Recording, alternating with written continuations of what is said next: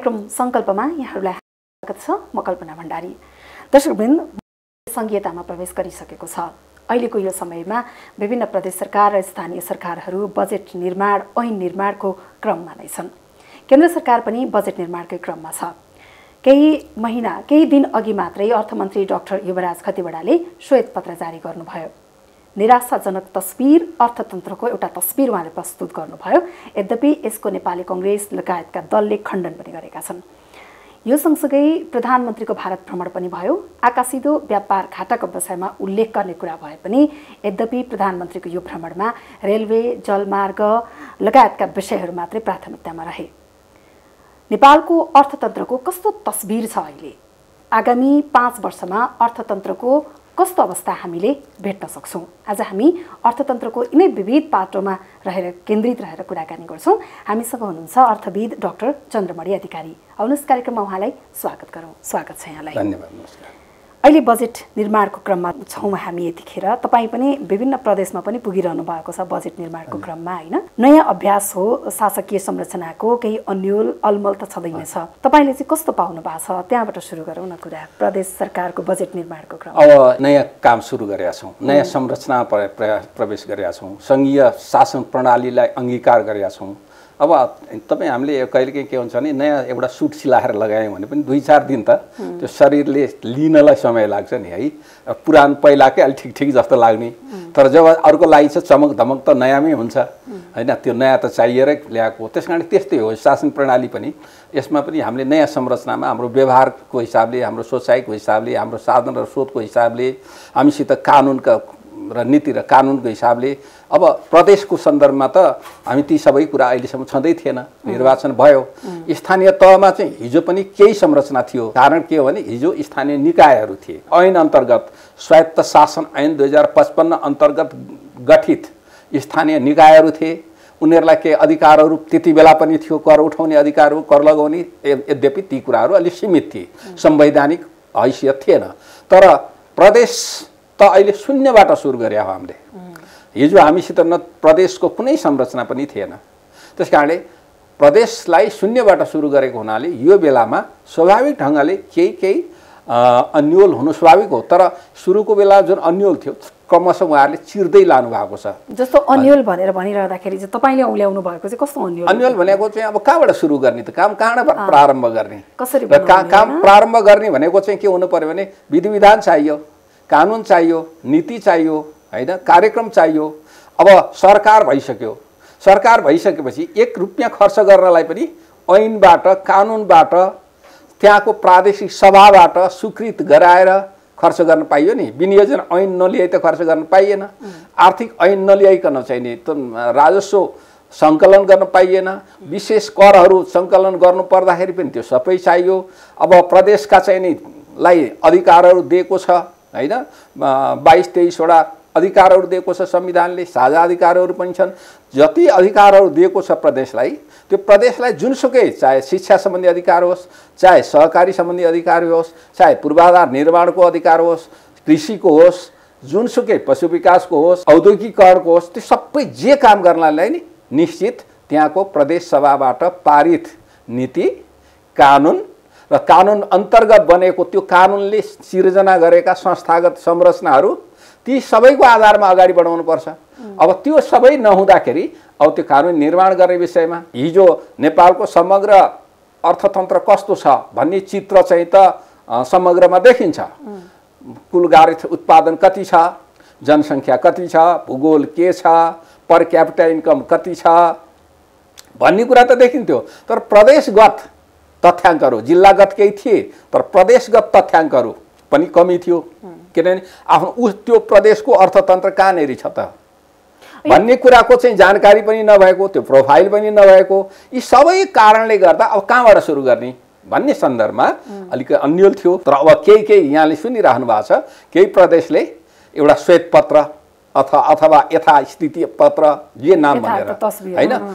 त्यो ल्याए कतिले नीति तथा कार्यक्रम पारित गरे कसैले केही संस्थागत संरचना सुरु पनि गरेका छन् र आर्थिक कार्यविधि ऐन ल्याए जसले गर्दा बजेट निर्माण कसरी गर्ने खर्च कसरी गर्ने सर्व त्यहाँको प्रादेशिक कोषको सञ्चालन कसरी गर्ने राजस्व परिचालन गर्ने विधि विधानहरू के हुन् सम्पत्तिको संरक्षण कसरी गर्ने भन्ने कुराहरू आर्थिक कार्यविधि ऐन पारित भएको छ धेरैजसो प्रदेशमा।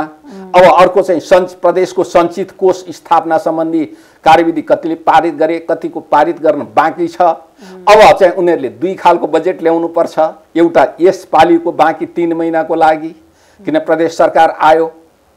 अब उसले त खर्च गर्नु पर्दा सञ्चित कोष जुन दिन खडा गर्छ त्यो दिनदेखि त एक पैसा पनि त्यो सञ्चित कोषबाट खडा गर्नु। त विनियोजन ऐनबाट गर्नु पर्यो। विनियोजन ऐन भनेको खर्च गर्ने ऐन हो। त्यो नभई खर्च गर्न पाइँदैन। विनियोजन ऐन ल्याउने भनेको बजेटको एउटा अङ्ग हो होइन? राजस्व उठाउने हो भने आर्थिक ऐन चाहियो। त्यो पनि बजेटको एउटा अङ्ग हो। अब ऋण उठाउने हो भने चाहिन्छ भने ऋण उठाउनलाई पनि ऐन चाहियो। अब यी सबै कुराहरूको लागि उनीहरू निर्माणको क्रममा चाहिँ पहिला नीति निर्माण कानुनमै उनीहरू अनि अर्को कुरा के भने संरचनाहरू पनि। नीति बनायो कार्यक्रम बनायो कोबाट कार्यान्वयन गराउने त? प्रदेश स्थानीय तहका आफ्ना शाखा छन्? केन्द्रका आफ्ना शाखा छन्? होइन कार्यालयहरू छन् विभाग छन् तर उसको चाहिँ अहिलेसम्म त केही छैन। त्यस्ता विभागहरू कति खोल्ने खोल्ने कि नखोल्ने आफ्ना कार्यालयहरू चाहिँ स्थापना गर्ने कि नगर्ने? त्यसको लागि चाहिँ भौतिक संरचना कति चाहिन्छ जनशक्ति के अवस्था के हो यी सबै कुरामा अन्यल थियो। अब उनीहरूले के बुझे बुझ्दै गएको छ भने अब यो सबै गर्नको लागि त कानुन चाहिने रहेछ। त्योभन्दा पढाइ योजना चाहिने रहेछ।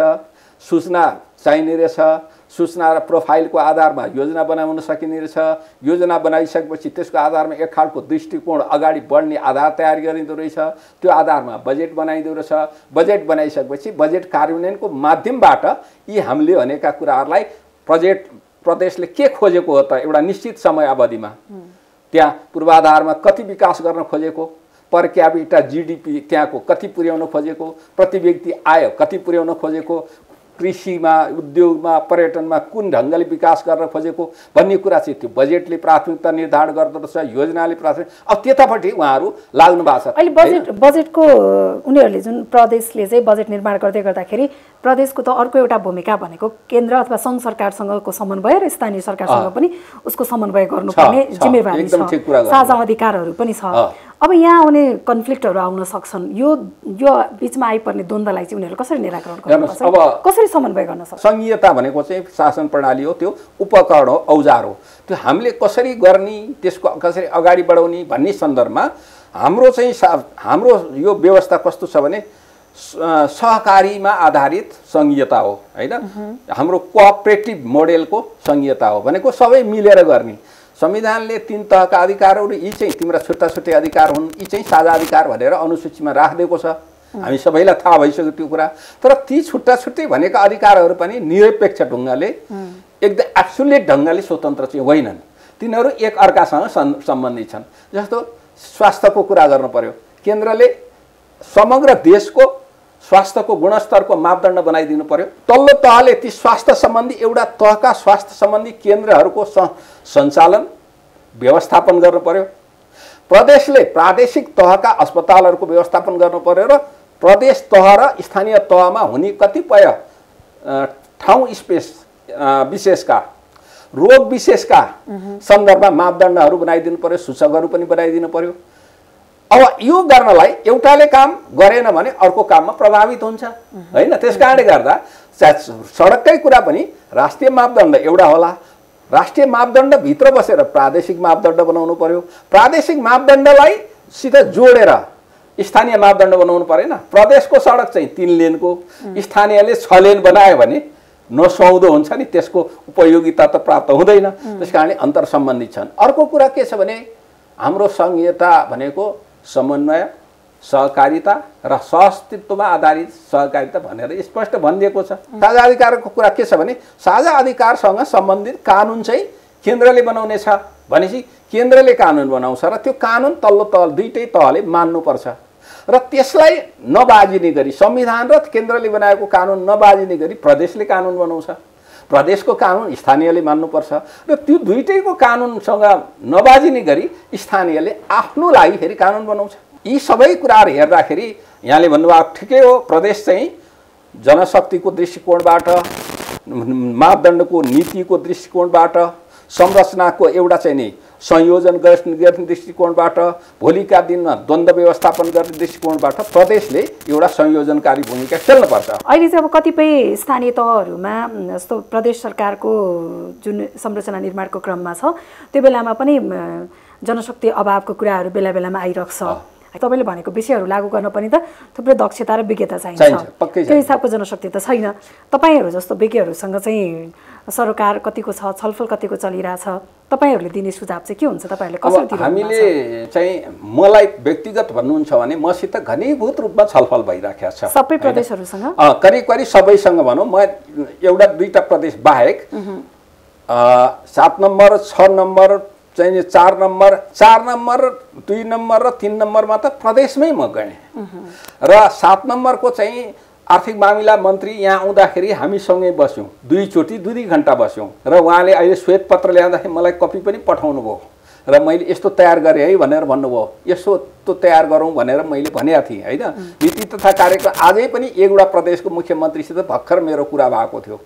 अब हामीले कसरी अगाडि बढाउँ त भन्दाखेरि यहाँहरूलाई प्री बजेट छलफल चाहिँ मा लैजानुहोस् आउँदो सालको बजेटलाई। अब यो आउँदो उहाँहरूले प्रदेशले दुईवटा बजेट बनाउनुपर्छ कल्पनाजी। एउटा बजेट चाहिँ अहिलेको यो आर्थिक वर्ष जुन छ नि अहिले चालु आर्थिक आर्थिक वर्ष। वर्षको अन्तिम तिन तिन महिना। करिब मोटामोटी भनौँ न अब त तिन महिनाभन्दा बढी त बाँकी छैन आज उन्तिस गते भइसक्यो। तिन महिनाको लागि एउटा बजेट ल्याउनुपर्छ उहाँहरूले किनभने सरकार हो। त्यो त अब ल्याइहाल्नु अब ल्याउनै पर्छ धेरै सबैजना नै तयारीमा हुनुहुन्छ। मलाई लाग्छ यो हप्ताभरि करिब करिब सबैको बजेट आइसक्छ होइन? मैले जानकारी पाए अनुसार। अब दोस्रो बजेट भनेको चाहिँ आषाढको एक गतेभित्र आगामी आर्थिक वर्ष। पचहत्तर छ्यात्तर वर्षको लागि फेरि अर्को बजेट ल्याउनुपर्छ। त्यो बजेट चाहिँ अहिलेको भन्दा बढी परिपक्व बनाएर ल्याउनुपर्छ। शत प्रतिशत परिपक्व तै पनि हुँदैन किनभने धेरै संरचनाहरू कम छन् होइन? त्यसपछि छ्यात्तर सतहत्तरको बजेट चाहिँ अलि निकै परिपक्व हुन्छ हेर्नुहोस्। त्यस कारणले गर्दा सिक्दै जाने हो नि यो त होइन? अतालियो भने त कामै हुँदैन तपाईँले अहिले भन्नुभयो नि जस्तो प्रदेशहरूले कुनै कुनै प्रदेशहरूले चाहिँ श्वेत पत्र पनि बनाएका छन् होइन? श्वेत पत्र भनेको अर्थतन्त्र कस्तो तस्बिर छ भन्ने कुरा उहाँहरूले देखाइरहनु भएको छ। केही अघि मात्रै अर्थमन्त्रीले पनि श्वेत पत्र जारी गर्नुभयो। यो भनेको सङ्घको श्वेत पत्र भनौँ। श्वेत पत्रमा चाहिँ देशको ढुकुटी रित्तिएको छ भनेर अर्थतन्त्रको एउटा निराशाजनक तस्बिर उहाँले प्रस्तुत गर्नुभयो। तपाईँ एउटा अर्थविदको हिसाबले चाहिँ अर्थमन्त्रीको त्यो श्वेत पत्रलाई तपाईँले कसरी हेर्नु भएको छ? कसरी टिप्पणी गर्नुहुन्छ? अब श्वेत पत्र भनेको नेपाल सरकारले श्वेत पत्र चाहिँ नि कस्तो विषय कहिले आउँछ भन्ने कुरा छोटो पृष्ठभूमिमा। श्वेत पत्र सरकारले पनि ल्याउ- ल्याउन सक्छ। कुनै सङ्घ संस्था होइन? सङ्घ संस्थाले पनि आफ्नो श्वेत पत्र ल्याउन सक्छ। कुनै एउटा नेतृत्व एकदम आमूल ढङ्गले व्यवस्थापन नेतृत्व परिवर्तन भयो। अथवा चाहिँ त्यो संस्थामा के खास घटना घट्यो भने त्यस्तै गरी देशमा पनि खास घटना घट्यो। संस्थागत संरचनाहरूमा परिवर्तन भयो नेतृत्वमा परिवर्तन भयो भने त्यो अवस्थाको चित्र के छ त? आर्थिक चित्र। अर्थतन्त्रको चित्र कहाँ छौँ हामी? त्यो धरातल कहाँ छ भनेर सरकारले त्यसको स्वामित्व लिनलाई पनि र आम जनतालाई त्यसको जानकारी दिनको लागि यो ठाउँ छौँ। हामी अहिले चाहिँ यहाँ उभिराखेका छौँ। अब यहाँबाट हामी अगाडि बढ्नु छ भन्ने दिनको लागि ल्याउने हो। त्यसको संसारमै ठ्याक्कै यस्तै फर्मेटमा ल्याउनुपर्छ यस्तै ल्याउनुपर्छ भन्ने विधान कानुन काहीँ छैन होइन? आफ्नो विवेकले यो गर्यो भने मैले मलाई जानकारी दिन सक्छु जनतालाई र भनेर ल्याउने हो। अब यो सन्दर्भमा अब विभिन्न टिका टिप्पणी पनि आछन् होइन? मेरो दृष्टिकोणमा। चाहिँ अब यहाँले भन्नुभयो म्याक्रो इकोनोमिक जुन चित्र छ नि त्यो त्यो चित्रहरूमा मलाई लाग्छ कसैले नै विमति राख्ने ठाउँ छैन। अब वास्तवमा हामी अलिकति चुनौतीपूर्ण घडीमै छौँ। कारण किनभने तपाईँको हामी कुल गार्स उत्पादनको वृद्धि दर पनि हाम्रो न्यूनै छ। गत साल अलिकति बढ्यो फेरि यसपालि तपाईँले एडिबीले फेरि अर्को चाहिँ नि प्रक्षेपण गरिसक्यो। एसियाली विकास ब्याङ्कले हिजो मात्रै प्रक्षेपण आयो। हिजोको अलिकति गत सालभन्दा घट्ने नै देखायो। सरकार आफैले अन्त्यावधि उसमा चाहिँ नि कम छ भनेर भनिसकेको अवस्था छ। अब त त्यसै गरी तपाईँ प्रति व्यक्ति आए पनि हाम्रो कमै छ होइन? व्यापार घाटा उच्च दरले बढेर गएको छ। के अरे विक्रम सम्मत के अरे हाम्रो आर्थिक वर्ष उनासाठी साठीमा तपाईँले कुल व्यापारमा निर्यातको अंश आयात र निर्यातलाई हेऱ्यो भने तपाईँको निर्यातको अंश चालिससम्म थियो उन्साठी साठीमा। जिडिपीलाई सित हेर्ने भने दस प्रतिशत थियो तर जिडिपीसित हाम्रो निर्यातको अंश अहिले तिन प्रतिशतमा झरिसक्यो। होइन? आयात चाहिँ उच्च दरले बढिसकेको अवस्था छ। विप्रेषणको आउने दर घटेर आएको छ। जाने सङ्ख्या घटेर गएको छ। होइन? अब चालु खाता घाटा घाटामा गएको छ। हिजो अघिल्ला वर्षहरूसम्म चालु बचतमा रहेकोमा घाटामा गएको छ। तपाईँको चाहिँ नि वैदेशिक मुद्रा माथिको चाप बढेर गएको अवस्था छ। ल सम्पूर्ण अर्थतन्त्रको आकार भन्ने हो भने अत्यन्त शून्य सानो धेरै सानो। हामीले किनभने पुँजीगत खर्च पनि सरकारको तर्फबाट पनि गर्न नसकेको र निजी क्षेत्रबाट पनि एग्रेसिभली लगानी हुन नसकेको हुनाले हाम्रो अर्थतन्त्रको आकारै सानो छ। त्यस कारणले यी चित्रहरू जुन छन् यी चित्रहरूमा विमति कसैको छैन। अब कसैले राजनीतिक दृष्टिकोणले चाहिँ अब विपक्षीले प्रतिपक्षले त्यो धर्म पनि हो भन्छ। भनेपछि? एक प्रकारले चाहिँ मनोवैज्ञानिक रूपमा आम जनतालाई प्रभावित पार्न खोजेको देशको ढुकुटी रित्तो छ र हामीले यति गर्नु छ भनेर चाहिँ आगामी चुनावको लागिसम्म उहाँहरूको रणनीति हो भन्ने चाहिँ आम आरोप छ। अब त्यो विपक्षीको रणनीति त मलाई थाहा भएन। तर है चित्र चाहिँ के छ भने चुनौतीपूर्ण छ। मैले भन्दा चाहिँ के भन्छु भने अहिलेको हाम्रो अर्थतन्त्रको चित्र चुनौतीपूर्ण छ। एउटै तपाईँले सकारात्मक चाहिँ चित्र एउटा कहाँ छ भनेदेखि बजेट घाटा चाहिँ घटेर गएको छ। बजेट घाटाको प्रतिशत अंश घटेर गएको छ एउटा चित्र। अर्को चाहिँ मूल्य वृद्धि जुन छ त्यो चाहिँ साबिकको हाम्रो सरदरभन्दा तल छ। तर त्यसमा पनि म भन्छु मूल्य वृद्धि हेर्नुभयो भने हिजोका चरित्र कस्तो थियो मूल्य वृद्धि भने तपाईँले सबभन्दा महँगो कहाँ हुन्थ्यो? हिमालमा हुन्थ्यो। त्यसपछि पाहाडमा हुन्थ्यो। त्यसपछि उपत्यका हुन्थ्यो। सबभन्दा सस्तो तराईमा हुन्थ्यो। अहिले हेर्नुभयो भने जस्ट उल्टो भयो। तराई चाहिँ सबभन्दा महँगो भयो। भनेपछि काहीँ न काहीँ संरचनामा खोट र त्रुटि छ भन्ने कुरा यहाँबाट पनि हामीले अब विश्लेषण गर्नुपर्छ। कारण विभिन्न होलान् होइन? हामीले अनुगमन गर्न नसकेको। अथवा बजारका संरचनाहरू त्यहाँ पुर्याउन नसकेको सबै जनसङ्ख्याको ठुलो अंश अठार बिस प्रतिशत नेपालको जनसङ्ख्या काठमाडौँमा थुप्रिएको।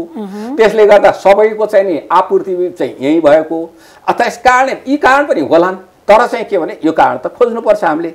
र हामीले भुक्तानी गर्नुपर्ने ऋण चाहिँ तपाईँले बजेटको अंश नै सानो खर्च नै सानो भएको कारणले गर्दा वैदेशिक ऋण र यस्ता आन्तरिक ऋण पनि नउठाएको हुनाले हाम्रो कुल गारेस उत्पादनकोमा वैदेशिक के अरे ऋणको अनुपात सत्ताइस अठाइस प्रतिशतभन्दा बढी छैन।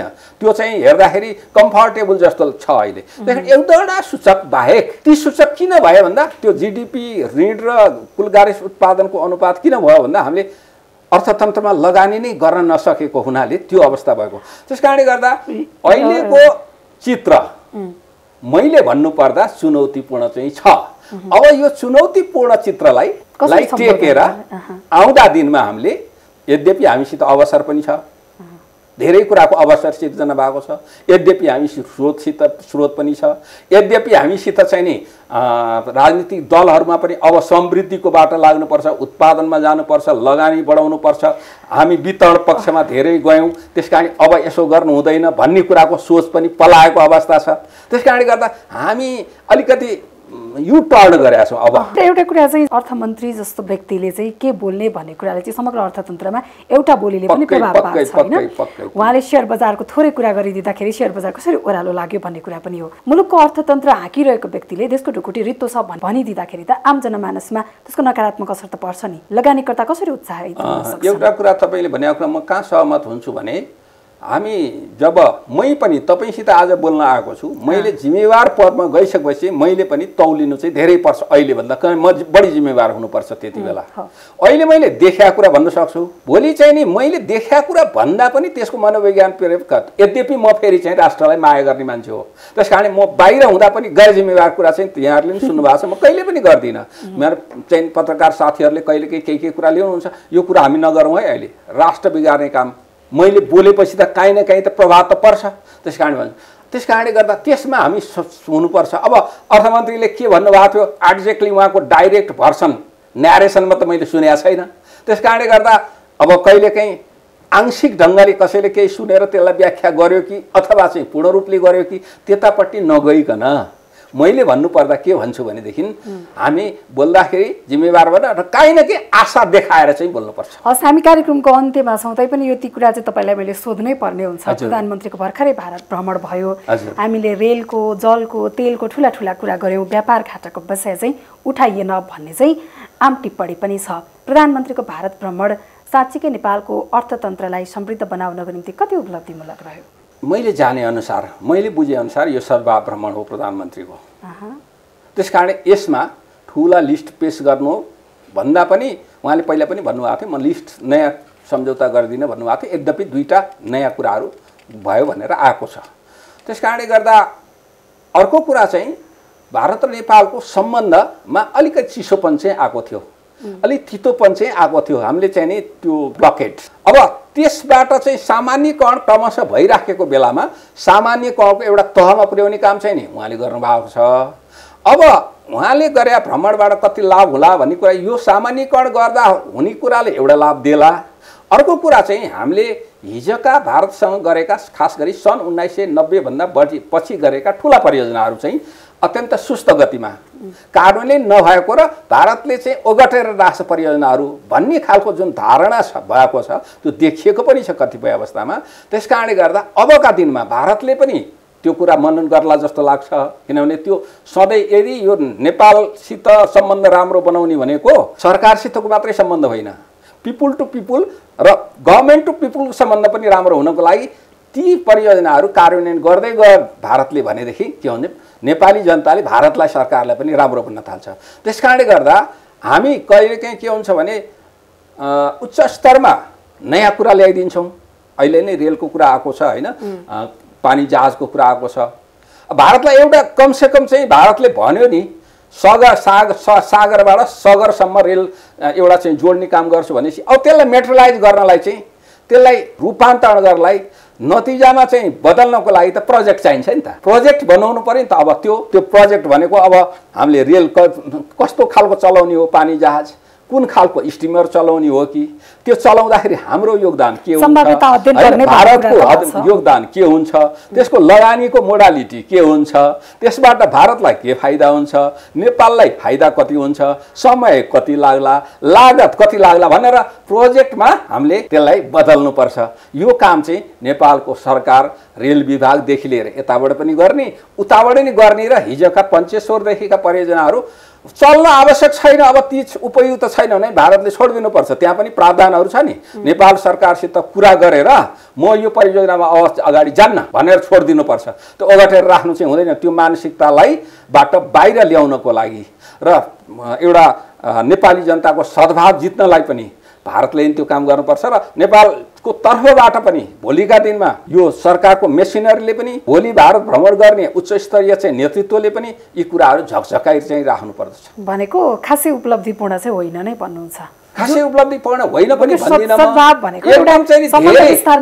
धेरै उपलब्धि भयो भनेर पनि भन्ने होइन तर उपलब्धिविहीन पनि होइन उपलब्धि भएको छ तर के हो सद्भाव भ्रमणकोले दिने उपलब्धि दिएको छ त्यति हो। हस् यहाँको यो महत्त्वपूर्ण विचार र समयको लागि म धेरै धन्यवाद दिन्छु। धन्यवाद। दर्शकबिन आजको कार्यक्रममा हामीले देशको बजेट निर्माणको क्रममा आउने चुनौतीहरू सँगसँगै देशको अर्थतन्त्रको तस्बिर र आगामी अवस्था कस्तो रहन्छ भन्ने विषयमा पनि केन्द्रित रहेर कुराकानी गऱ्यौँ निश्चय पनि साधन र स्रोतको मितव्ययिता अपनाउने र देशमा जति सक्दो वित्तीय सुशासन अनुशासन कायम गर्ने हो भने देशमा आर्थिक समृद्धि सम्भव छ। यो आशावादिता उहाँले पनि प्रस्तुत गर्नुभएको छ।